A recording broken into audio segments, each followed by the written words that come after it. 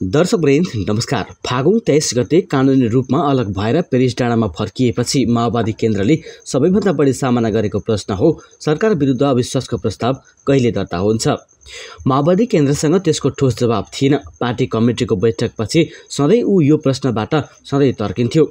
ऊ पनि खोज्थ्यो र माओवादी केन्द्रका नेताहरूले पनि यस प्रश्नको मूर्त उत्तर दिन सक्दैनथे।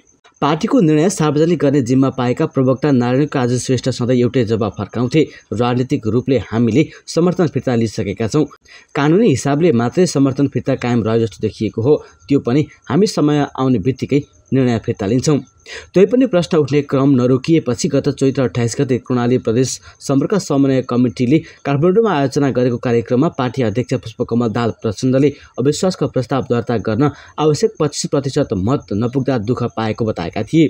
त्यसो त पुस पाँचको प्रधानमन्त्री केपी शर्मा ओलीको संसद विघटन गर्ने कदम विरुद्ध सडक सङ्घर्ष गरेकाले सरकारलाई समर्थन दिइरहन माओवादी केन्द्रलाई नैतिक सङ्कट थियो। तर प्रमुख प्रतिपक्षी दल नेपाली काङ्ग्रेसको ध्यान चाँडो चुनावमा केन्द्रित भएकोले ऊ निरुपाय बन्न पुगेको थियो। बत्तीस मत बोकेर बसेको जनता समाजवादी पार्टीको एउटा हिस्सा सरकारसँग तारन्तार छलफलमै रहेकोले अविश्वासको प्रस्ताव अघि बढाउँदा सरकारतिरै बहुमत पुग्ने हो र संविधान त सरकार एक वर्ष थमिने हो कि भन्ने चिन्ता पनि छँदै थियो। त्यसले पनि उनलाई खुट्टा सार्न दिएको थिएन। नागरिक समाजबाट निरन्तर आउने आलोचना काण्डमा राखेरै अविश्वासको प्रस्ताव समर्थन जुटाउन पार्टी र शीर्षस्थ नेताहरूको घर दैलो गरिएको थियो। अब एमाले अध्यक्ष ओली नेतृत्वको मौजुदा सरकारले दिनगन्ती सुरु भएको माओवादी केन्द्रका नेताहरूले बताएका छन्। स्थायी कमिटीको मङ्गलबारको बैठकमा बोल्दै अध्यक्ष प्रचण्डले जसपाले निर्णय गर्न साथ अविश्वासको प्रस्ताव दर्ता गर्ने र ओली सरकार ढल्ने आत्मविश्वास व्यक्त गरेको एक स्थायी कमिटी सदस्यले बताएका छन्। त्यसो त सत्ता समीकरण सन्दर्भमा काङ्ग्रेससँग कुराकानी मिलिसकेको र जसपा पनि लड्न आउने प्रचण्डले बताएका थिए। प्रवक्ता श्रेष्ठले बैठकपछि सञ्चारकर्मीहरूलाई त्यही निष्कर्ष सुनाएका थिए। संविधान लोकतन्त्रको रक्षाका लागि ओली सरकारलाई विस्थापन गर्नु अनिवार्य शर्त बनेको प्रवक्ता श्रेष्ठको भनाइ थियो। अघिल्लो वर्ष चैत्रको एघार गतेबाट लकडाउन सुरु हुनु पूर्व पनि माओवादी केन्द्रका अध्यक्ष पुष्पकमल दाहाल प्रचण्डले राजनीतिक संयन्त्र आवश्यक रहेको उम्ल्याएका थिए। उनले सार्वजनिक फोरमहरूमा सर्वदलीय संयन्त्र गठन गरेर सबैलाई कोभिड रोकथाम उपचार र नियन्त्रणमा लैजानुपर्ने खाँचो उम्ल्याएका थिए। तर त्यति बेला तत्कालीन नेकपाका अरू नेताहरूले कुरा गर्न दिएनन्। यहाँसम्म कि पार्टीका वरिष्ठ नेता झलनाथ खनाल लगायतले नै सरकार हुँदाहुँदै अर्को संयन्त्रको आवश्यकता उपादेयता नरहेको बताएका थिए। यसैबीच गण्डकी प्रदेशका मुख्यमन्त्री पृथ्वी सुब्बा गुरुङ विरुद्ध दर्ता भएको अविश्वासको प्रस्तावमा फ्लोर क्रस हुने आशंकामा रहेका दलहरूले आफ्ना सांसदहरूलाई सुविधा सम्पन्न रिसोर्टमा राखेका छन्। काङ्ग्रेस माओवादी र जसपाले आफ्ना सांसदहरूलाई मङ्गलबारदेखि पोखराको रिसोर्टमा राखेका हुन्। काङ्ग्रेस र माओवादी केन्द्रका सांसदहरू लेकसाइड स्थित कुटी रिसोर्टमा छन्। जसपाले भने आफ्ना प्रदेशसभा सदस्यलाई कुटी नजिकैको अर्को होटलमा राखेको छ। अविश्वास प्रस्तावमा हस्ताक्षर गरेकाहरूको सङ्ख्या नघटोस् भनेर साथीहरूलाई एकै ठाउँमा राखिएको हो। एकजना प्रदेशसभा सदस्यले भनेका छन्। माओवादी केन्द्रका प्रदेशसभा सदस्य दीपक कोइरालाले अविश्वास प्रस्ताव अत्याधिक मतका साथ पारित गर्ने विषयमा छलफल गर्न एकै ठाउँ भेला भएको बताए। उनले भने एक ढिका भएर जाने र अविश्वासको प्रस्ताव पारित गर्ने भन्ने कुरा भएको छ। उनले अविश्वासको प्रस्तावको पक्षमा बत्तीसभन्दा बढी प्रदेशसभा सदस्यहरूले मत दिने दावी समेत गरे। दीपक गुरुङले म एमालेमा छैन स्वतन्त्र छु भनिसकेको सन्दर्भ र राष्ट्रिय जनमोर्चाले पनि पक्षमा भोट हाल्छु भनिसकेको सन्दर्भमा स्पष्ट बहुमत पुग्छ। कोइरालाले भने बत्तीसबाट घट्ने सम्भावना छैन तेत्तिस चौतिसजनासम्म पुग्न सक्छ।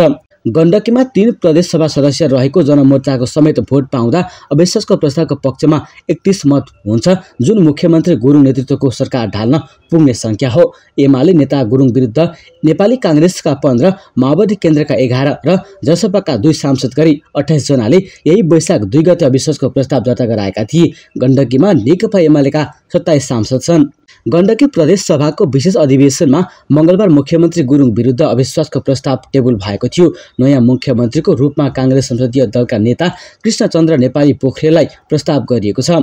मङ्गलबार नै अविश्वासको प्रस्तावमाथि मतदानमा जाने विपक्षी दलको चाहना भए पनि बुधबार मात्र मतदान हुने सांसदहरूले बताएका छन्। जनमोर्चाले भने अविश्वासको प्रस्तावमा हस्ताक्षर गरेको छैन तर पनि अविश्वासको प्रस्तावको पक्षमा उभिने बताउँदै आएको विपक्षी दलका नेताहरूको भनाइ छ। मेषलाल श्रेष्ठले अविश्वासको प्रस्तावको पक्षमा रहेका सबै दलहरू मिलेर जाउँ भनेर एकै ठाउँमा भेला भएको बताएका छन्। जसपाका प्रदेश सभा सदस्य हरिशरण आचार्यले आफूहरू काङ्ग्रेस र माओवादीका सांसदहरू बसेको रिसोर्टमा नबसे पनि अविश्वासको प्रस्तावको पक्षमा भने मत हाल्ने बताएका छन्। जसपाले सत्ता समीकरणको विषयमा लिखित सहमति माग गर्दै आएको छ यद्यपि लिखित सहमति हुन सकेको छैन। लिखित भयो भने सहकार्य गर्न सजिलो हुन्छ त्यसैले दीर्घकालीन रणनीतिक हिसाबले अगाडि बढौँ भनेर हामीले भनेका हौँ। आचार्यले भने लिखित भयो भने सरकारमा पनि सहकार्य गर्न सकिन्छ। नेकपा माओवादी केन्द्रका प्रदेशसभा सदस्य कोइराला भने मन्त्रालय बाँडफाँड अहिले आफूहरूको प्राथमिकतामा नरहेको बताउँछन्। मन्त्रालय बाँडफाँड प्राकृतिक न्यायको सिद्धान्तको आधारमा हुन्छ कोइरालाले भने अविश्वासको प्रस्ताव पारित भएपछि त्यसमा छलफल हुन्छ। यसैबीच नेकपा एमालेका नेता माधव कुमार नेपाल सहित चार नेताले दायर गरेको रिटमा सर्वोच्च अदालतले अन्तरिम आदेश दिन अस्वीकार गरेको छ। न्यायाधीश प्रकाश कुमार ढुङ्गानाको एकल इजलासले नेपालसहित चार नेताहरू भीम रावल घनश्याम भूषाल र सुरेन्द्र पाण्डेले रिट निवेदन दायर गरेको रिट निवेदनमाथि सुनवाई गर्दै पन्ध्र दिनभित्र जवाब दिन निर्देशन दिएको हो। सर्वोच्चले निर्वाचन आयोग प्रधानमन्त्री केपी शर्मा ओली एमाले महासचिव ईश्वर पोखरेल सभामुख सङ्घीय संसदको सचिवालयलाई पन्ध्र दिनभित्र मुद्दामा उठाइएका विषयमा जवाफ दिन आदेश दिएको छ। इजलासले पार्टीले कारवाही गरि नसकेको भन्दै अन्तरिम आदेश दिन पर्ने बताएको छ। रिट निवेदनमा संवैधानिक आयोगमा अभिलेखीकरण भएको दलको संरचना पदाधिकारी र विधान दलको अन्तरिम विवरण भएको उल्लेख गर्दै भनिएको थियो। त्यस विवरण विपरीतका सबै काम कारवाही र निर्णयहरू गैर संवैधानिक गैर कानुनी र पार्टी विधान विपरीत हुने देखिन्छ। प्रधानमन्त्री ओलीले गरेको कथित कारवाही र त्यस अघिको स्पष्टीकरण समेत स्वत गैर कानुनी भएकोले त्यस्ता सबै काम कारवाहीहरू उत्प्रेषणको आदेशद्वारा बदर गर्नुपर्ने देखिन्छ। पार्टीका अध्यक्ष ओलीको निर्देशनमा महासचिव ईश्वर पोखरेलले गत फागुन अठाइस गते करिब एकै प्रकारको कथित स्पष्टीकरण माग गरेको र यसरी सोधिएको स्पष्टीकरणको जवाब दिएकामा कुनै वास्ता नगरी त्यसको मूल्याङ्कनबारे कमिटीमा छलफल एवं परामर्श समेत नगरी गत चैत्र सोह्र गतेदेखि पार्टीको साधारण सदस्यबाट छ महिनाका लागि निलम्बन गरिएको कार्य गैर संवैधानिक भएको निवेदनमा उल्लेख भएको थियो। सर्वोच्च अदालतको फैसला गत फागुन तेइसको फैसलापछि नेपाल कम्युनिस्ट पार्टी नेकपा ऋषि कटेलको ठहर भएपछि एमाले दुई हजार पचहत्तर जेठ तिनको पूर्व अवस्थामा फर्केको हुँदा त्यस बखत निर्वाचन आयोगको अभिलेखमा कायम नेकपा एमालेको केन्द्रीय कमिटी र पदाधिकारी सङ्ख्या यथावत रहेको दावी रिटमा छ। यता जनता समाजवादी पार्टी नयाँ गठबन्धनबारे अन्यलमा रुमलिएको छ। केपी ओली सरकारलाई नै समर्थन गर्ने कि नयाँ सत्ता समीकरण बनाउने भन्नेमा जसपाभित्र दुई धार देखिँदा निर्णय हुन नसकेको हो। जसपाले निर्णय नगर्दा काङ्ग्रेस नेतृत्वमा नयाँ गठबन्धन बनाउने प्रयास सफल हुन सकेको छैन। संसदको चौथो दल जसपाभित्र ओली सरकारलाई नै समर्थन गर्नुपर्छ भन्ने एउटा धार देखिन्छ भने नयाँ गठबन्धन निर्माण गरेर ओली सरकारलाई विस्थापित गर्नुपर्ने भन्ने अर्को धार देखिन्छ।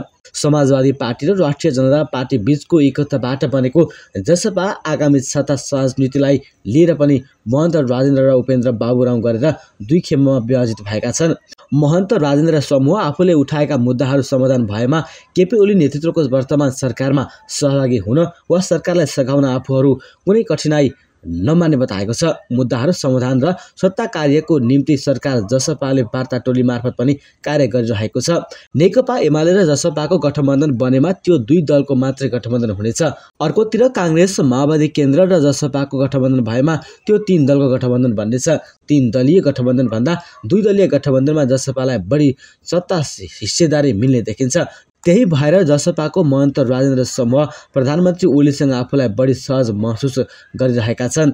जसपाको अनिर्णित अवस्थाले काङ्ग्रेस नेतृत्वमा नयाँ गठबन्धन बन्न नसक्दा एकातिर मुलुकको राजनीतिले गति लिन सकिरहेको छैन भने अर्कोतिर प्रधानमन्त्री केपी ओलीले पनि जसपाले आफैलाई समर्थन गर्छ भनेर ढुक्क हुने अवस्था छैन। कतिपयले त सत्ता राजनीति बारेको यही अन्तरसङ्घर्षले जसपा फुट्न सक्ने आकलन समेत गरिसकेका छन्।